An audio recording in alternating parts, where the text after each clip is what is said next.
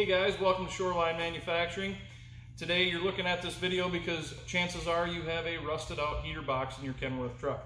So uh, here at Shoreline we are building a 100% stainless steel heater box for your truck. It's a factory replacement. Everything about it is identical to your OEM uh, box.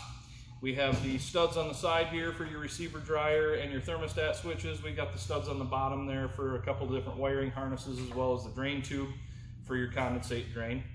Uh, inside the box here, we've got the uh, bracketry for your uh, air-operated recirculation door, as well as on the inner baffle plate, we have the brackets for uh, an electric-operated recirc door. On the fan cover here, it is built to accept your factory fan motor, as well as your blower wheels and everything like that.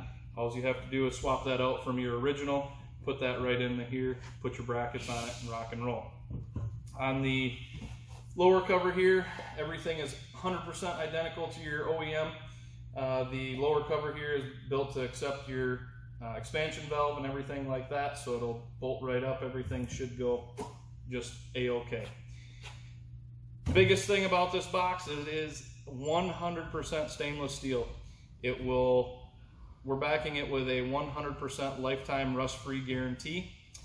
The gasket set is an additional option with the purchase of this box.